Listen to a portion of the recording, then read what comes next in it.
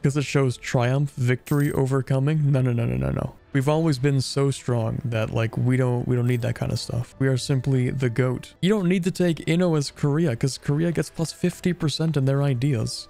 That's overkill. That's like going quantity as Qing, like like the uh, AI did. That's like going quantity Ottomans. Like you don't have to do that. That's not your bottleneck right now. And what do you think you're gonna get out of that innovativeness? You think you're gonna get admin advisor or just advisor cost? You already reached minus 90. You don't need it. I mean, sure you get the tech cost, but like, you know what else you get as Korea? Tech cost. And you also, you know what else you get as Korea when you take the mandate? Max prestige. You, you don't need more prestige decay. You get max prestige when you take the mandate. Like it's it just stays like that. You just have like permanent 100 prestige. So you don't need this. You don't need this. This is okay, I guess. I mean, it's good. This is useless. You don't need this.